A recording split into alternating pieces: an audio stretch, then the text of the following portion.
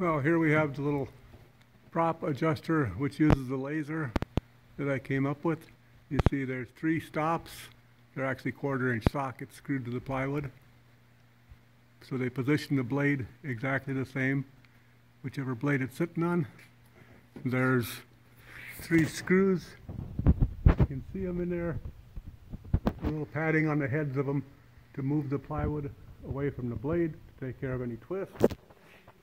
Little laser is held in place with this little bracket and it's tight against the laser so it holds the push button in when you have it turned on or shoved into place.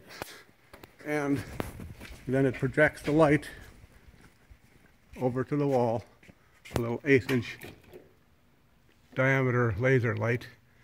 And that moves when you twist the blade, of course. Set the first blade, make a mark there, and then bring your second and third blades, however many you have, to that same point. And that's about a uh, one degree in 20 feet is about four inches of movement on that light. So that's how close you can get. I usually get it within an eighth of an inch or so.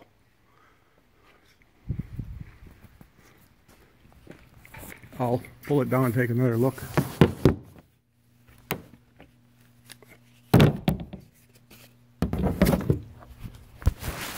Here's the other side of the bracket.